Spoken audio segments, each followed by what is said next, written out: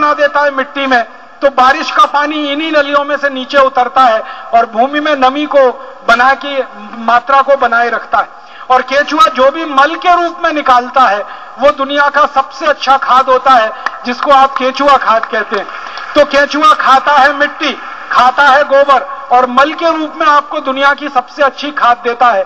और केंचुए जैसे करोड़ों जीवाणु हैं जो ये काम मिट्टी में करते रहते हैं। तो खाद तैयार करने का काम तो जीवाणु करते हैं और केंचुआ करता है। आप खाद के लिए कच्चा माल उनको दे दीजिए और भरपूर खाद उनसे आप ले लीजिए।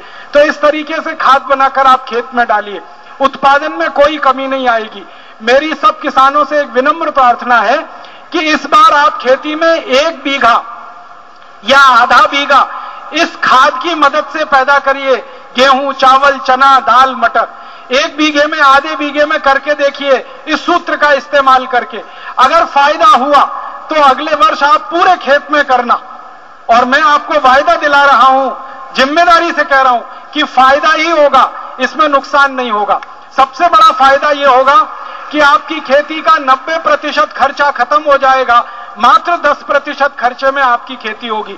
अगर आप सौ रुपए खेत में लगाएँगे, एक हज़ार रुपए का उत्पादन होगा। हज़ार रुपए लगाएँगे, दस हज़ार रुपए का उत्पादन होगा। दस हज़ार रुपए लगाएँगे, एक लाख रुपए का उत्पादन होगा।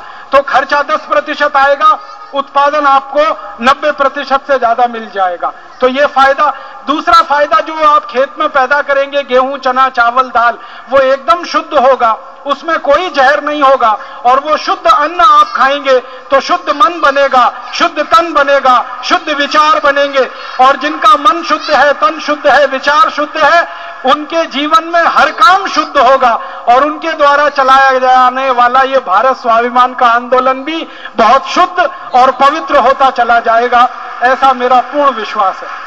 आपकी बीमारियाँ कम हो जाएँगी, आपके मन के क्लेश कम हो जाएँगे, आपके मन का तनाव कम हो जाएगा जब ये शुद्ध अन्न, गोबर और गोमूत्र का आप खाएँगे।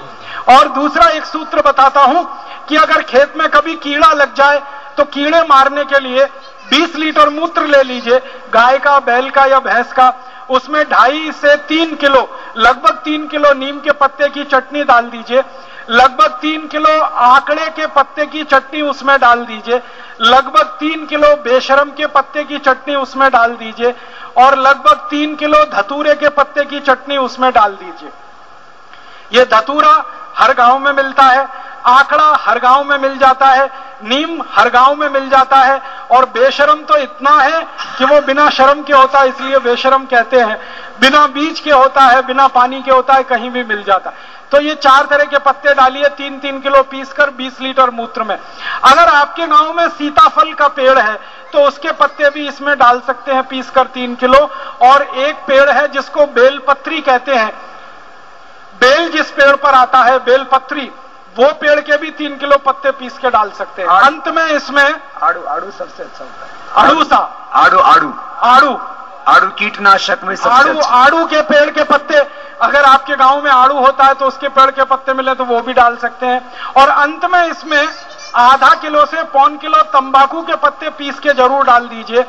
फिर आप इसमें आधा पौन किलो लहसुन पीस के डाल दीजिए और तीखी मिर्च जो बहुत खाने में आँख से आँसू निकाल दे, ऐसी मिर्च आधा पौन किलो पीस के डाल दीजिए। इतनी सब चीज़ें 20 लीटर मूत्र में मिला दीजिए, पीसकर इसको उबाल लीजिए उबाल कर इसको छान लीजिए छान कर इसको ठंडा कर लीजिए, ठंडा करके इसमें कम से कम 200 लीटर पानी मिला दीजिए।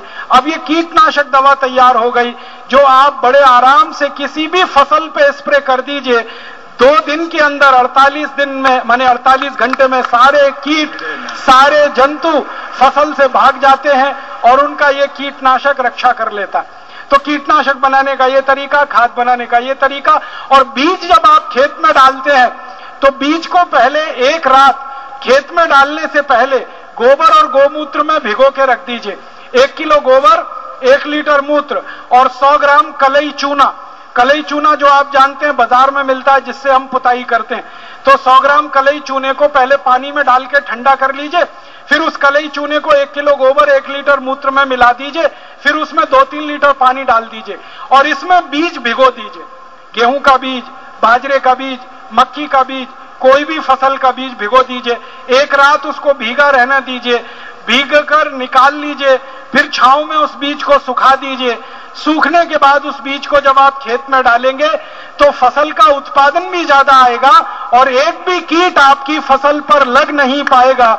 इस बीज में इतनी प्रतिकारक शक्ति आ जाती है, गोबर गोमूत्र में डालने के बाद। तो बीजोपचार करके खेत में बीज डालिए और खाद बनाने का सूत्र है, उससे खाद बनाइए, कीटनाशक बनाने का सूत्र है, उससे कीटनाशक बनाइए और अपने खेत में इन तीनों चीज़ों का उपयोग करिए।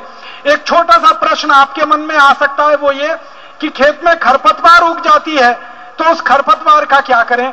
खरपतवार को हमेशा के लिए समाप्त करना हो तो एक सरल उपाय बताता हूँ कि जो भी खरपतवार पैदा हो रही है, उसको जड़ से उखाड़िए और खेत में ही डाल दीजिए।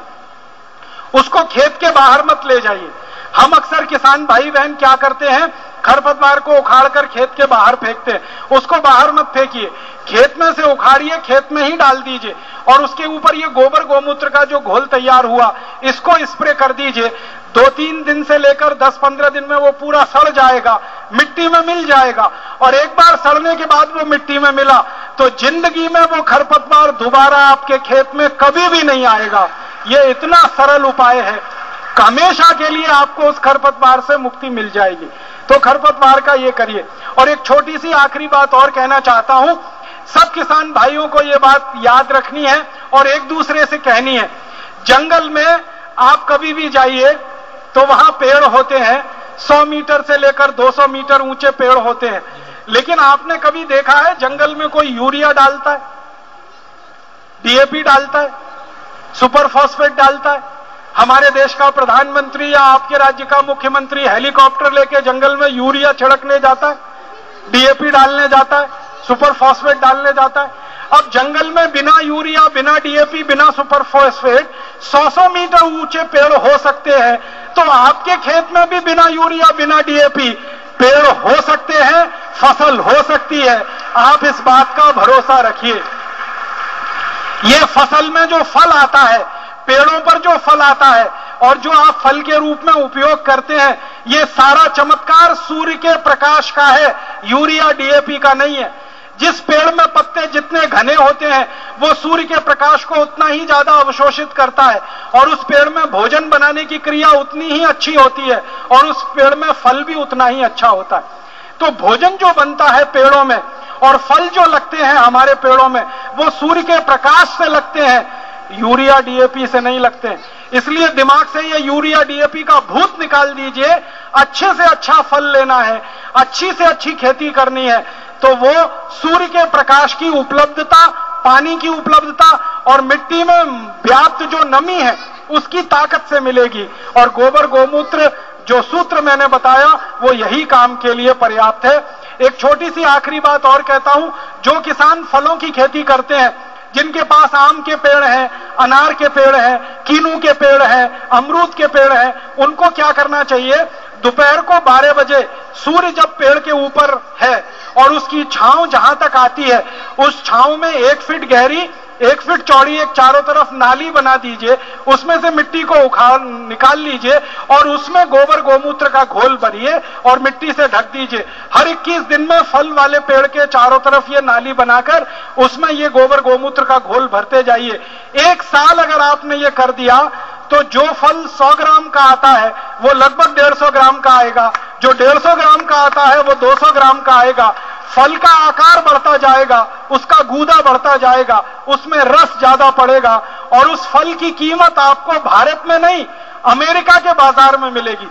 जो किसान गोबर गोमूत्र से आम पैदा करते हैं और भारत से वो आम अमेरिका में जाकर बिकता है तो एक आम की कीमत पैंसठ रुपए मिलती है जबकि एक आम यहाँ यूरिया डीएपी का दो रुपए में भी नहीं नहीं इसका वो भी बता दो नहीं सोचेंगे कोई टोटका बताया उसका हेतु बता दो ये टोटका नहीं है ये एक वैज्ञानिक जानकारी है वो ये कि पेड़ के ऊपर दोपहर को 12 बजे जब सूर्य का प्रकाश गिरता है और जहाँ तक उसकी छांव जाती है, वहीं तक उसकी जड़ रहती है।